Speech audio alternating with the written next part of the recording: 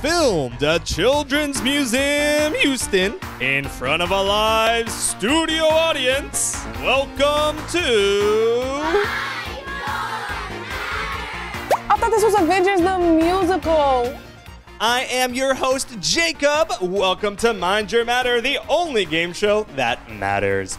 Without any further ado, let's meet our contestants. Contestant number one is Anna Williams, a fifth grade science student from Middleave Elementary. Hello. Contestant number two is Mikey Gomez, a sixth grade student from Rosalind Franklin Middle School. Glad to be here. Contestant number three is Phyllis Stein, who claims to be a super genius despite all evidence to the contrary. Alrighty then, let's spin the wheel of science. Today's scientific challenge is. Change the state of matter. Contestants, you will be given a sample of matter, whether in liquid, gas, or solid state. Your task is to change that matter to another state of matter. Contestants, please open the mystery boxes and reveal your matter, starting with you, Anna.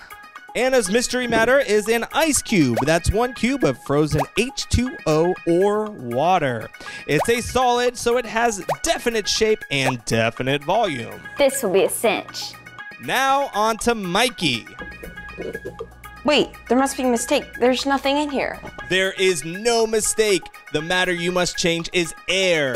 It is a gas, so it has no definite shape and no definite volume. Anything you find in the air is fair game. Now, moving on to our last contestant, Phyllis Stein. Please open up your mystery box and reveal your matter. Phyllis, your matter is a glass of water, or in other words, H2O, in its liquid state. A liquid is a state of matter with no definite shape but definite volume. Aha! I know exactly what to do. Excellent. While our contestants prepare their experiment, let's hear a word from our sponsor.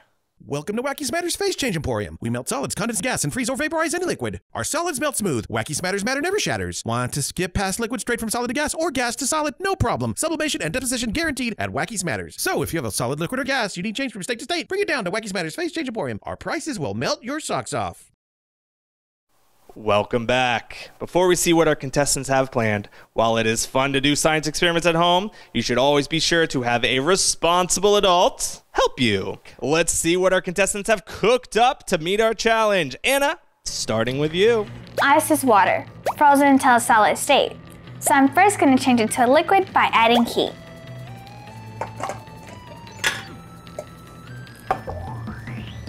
When I put this solid ice on this hot pan, the heat causes the ice to change state into water, a liquid. That's melting. A state of matter change where heat is added to a solid, changing it to a liquid. Great job. Wait, I'm not done just yet. While I change ice to water, I can do one more change. If I keep adding heat to the liquid water, it starts to boil and turns into steam, also known as water vapor. A gas. Boiling is another state of matter change, where heat is added. This time, the matter changes from liquid to gas.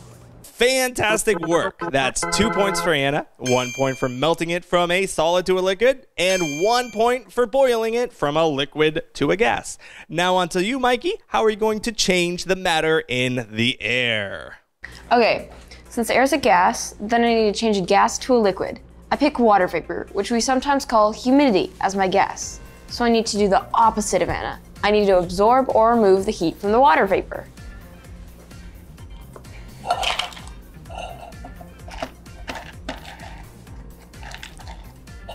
The ice should absorb the heat from the gaseous water vapor in the air around the can. Watch the side of the can. See the liquid drops of water forming? That's condensation, a state of matter change where a gas changes to a liquid. Good work. You've earned. Wait, I'm not done. While I change water vapor to water, I can do one more change. I'm adding rock salt to the can. With rock salt mixed in, the ice can absorb even more heat. That's why it can be used to make ice cream. Now, watch what happens to the liquid water that condensed on the side of the can. It's turning to frost, a form of ice. That's freezing, a state of matter change when heat is removed and a liquid turns into a solid. Great work. That's two points for you, Mikey. One for cooling the water vapor in the air from a gas to a liquid, and then another one for freezing that water from a liquid into a solid. Now, on to you, Phyllis. What do you have for us? Be prepared to be amazed. This is my Ultra Gravitron Compressurizer, a machine of my own invention. I will simply place the glass of water within the compressurization chamber, switch the machine on, and turn it up to 11. Uh, Phyllis, that doesn't look very safe. What's what's going on? Nonsense! I am simply applying the same amount of gravitational force upon the water molecules that would be required to form a stellar core in the hopes that we can form a miniature star and change the state of matter from liquid to plasma.